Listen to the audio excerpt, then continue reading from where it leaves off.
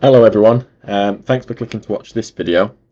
Uh, this video is primarily for enthusiasts or perhaps more experienced owners.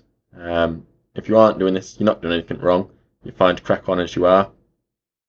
Uh, if you want to clean some branches for the enclosure but you don't want to go this way, if you want to go the easy route, just click on the description below. Um, or if you're on the website, um, you can find it under more guides and articles and then click guides and then you can see my previous guide. As you can see in this video, I'm using a hammer and chisel to remove the bark. Uh, if the bark is particularly infested with fungus or mould, it will need to come off. Um, removing the bark has some advantages. So if you want to do it anyway, I do recommend it.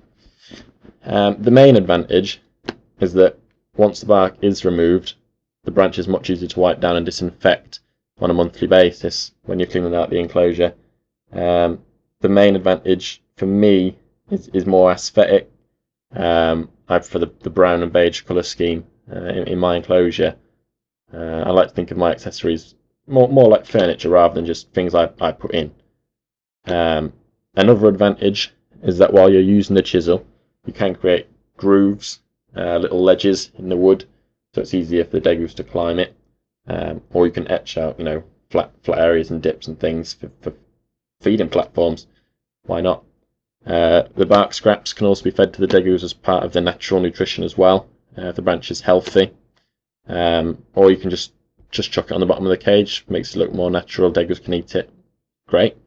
Um, once the branch is void of bark, sand it down so it's smooth, um, pour some boiling water over it, just give it a wipe down with a paper towel. Um, you'll notice it's, it's a bit a bit, a bit dirty um, on the paper towel once you've wiped it, obviously. Uh, a, a, quick a quick mention on health and safety as well. Um, please use a sharp chisel. You'll be there all your life. And if you if you're using a sharp chisel as well, just just don't chisel yourself because it's not cool and it hurts a lot. Um, yeah, you know, seek parental parental supervision, etc. Um, also, be careful holding the branch after pouring the water on it because um, it's really hot boiling water, really hot.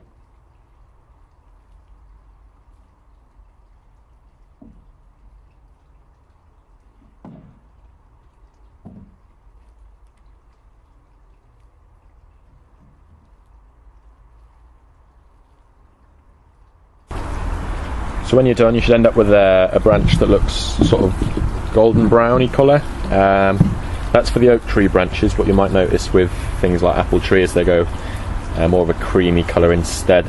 Um, while I'm here, I might as well show you some of the plants that we grow for the degus.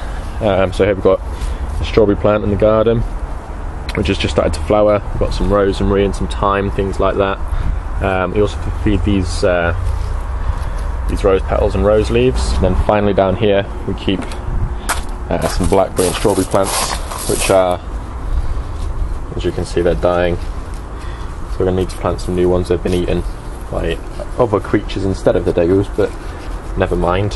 Um, and finally over here, some spare branches um, in a plastic bag. So if we fancy putting some more, uh, then that can be done as well. These ones are dirty. The branches have got like a green sort of mould on them. Um, so that'll need to come off like I just showed you.